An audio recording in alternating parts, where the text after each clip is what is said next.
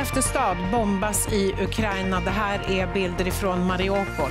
Samtidigt visade den statliga tvn i Ryssland idag det som ska vara ett stort firande av årsdagen av annekteringen av Krim 2014. Hela världens förhoppningar står nu till samtalen mellan Putin och Zelensky men Rysslands president verkar inte vika sig. Så här sa han nyligen i ett tal till sitt folk. Своей цели. А цель одна, я уже говорил об этом. Разрушение России. Но любой народ, а тем более российский народ, всегда сможет от, отличить истинных патриотов от подонков и предателей и просто выплюнет их, как случайно залетевшую в рот мошку, выплюнет на панель. Fredrik Reinfeldt och Jan Eliasson, vi ska snart prata om de diplomatiska samtalen. Men först, Henrik, du kan väl berätta vad vi vet så här långt om de här samtalen? Ja, det första samtalet hölls den 28 februari på gränsen mot Belarus bara fyra dagar efter att Ryssland inlett sitt krig i Ukraina. Parterna har stått långt ifrån varandra men i förrgår så sa Ukrainas president Zelensky att samtalen börjar låta mer realistiska. Igår så hade Rysslands president Putin ett samtal med Turkiets ledare Erdogan och enligt uppgifter till BBC så presenterades då en lista med sju krav som Ukraina måste gå med på för att Ryssland ska dra tillbaka sina trupper. Det handlar bland annat om att Ukraina ska förbli neutralt och inte ansöka om medlemskap i Nato, att Ukraina ska nedrustas för att inte utgöra ett hot mot Ryssland och som vi ser här att Donetsk, Luhansk och Krim ska erkännas som ryska.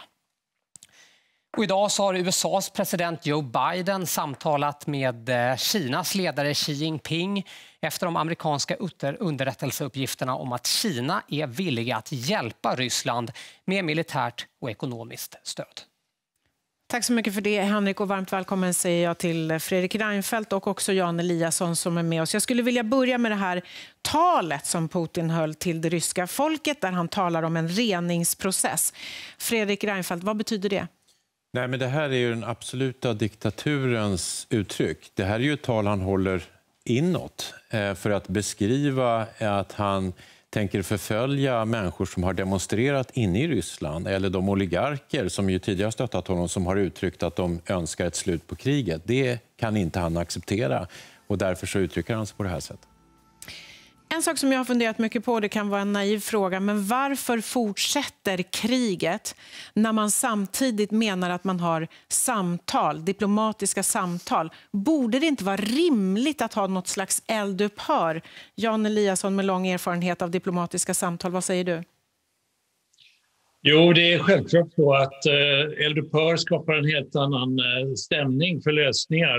Men det är nog ganska orealistiskt nu. Men jag är övertygad om att Eh, Eh, Zelensky och Ukraina kommer att kräva i förhandlingen att eh, eldupphör ingås och att eh, rysk trupp också går till den gamla erkända, internationellt erkända gränsen.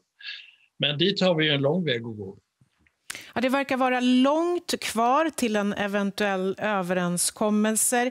Det sägs också eh, att Putin aldrig skulle liksom erkänna en förlust utan att han, honom behöver man nästan servera en väg ut så att han inte tappar ansiktet. Mm. Så har det talats från mm. experthåll om Putin. Va, vad innebär det?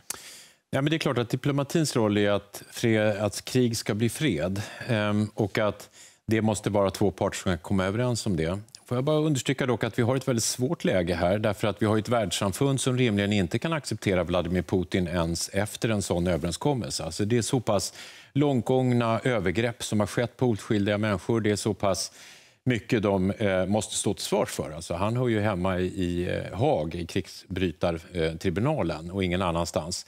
Så att, eh, även om vi skulle se punkter, de här punkterna som ni nämnde här är ju mm. närmast löjeväckande, eh, givet hur ryska och felaktiga de är i hela den här beskrivningen. Ungefär som att Ukraina skulle vara ett militärt hot mot Ryssland. När det enda alla försöker göra i närheten av Ryssland är att liksom undvika att bli anfallna av Ryssland. Så vänder man på hela den logiken.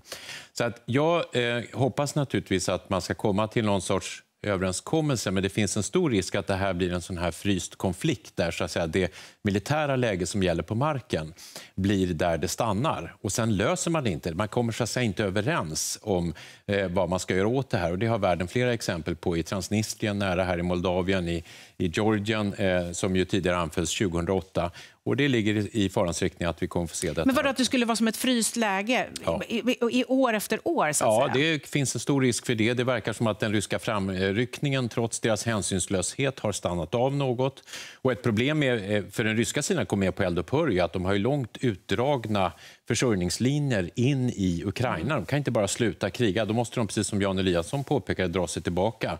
Det är ju eh, rimligen ett enormt misslyckande. Så att det finns en risk för sådana här frysta konflikter eller att man naturligtvis inte från Ukrains sida kan gå med på en delning av sitt land. Att ett attack på ett oskyldigt land vars enda skuld gentemot Ryssland är att de älskar frihet och öppenhet skulle straffas med att förlora en del av sin geografiska eh, identitet. Det är ju inte acceptabelt. Jan Eliasson, vad tror du? Kommer det gå att nå någon slags överenskommelse?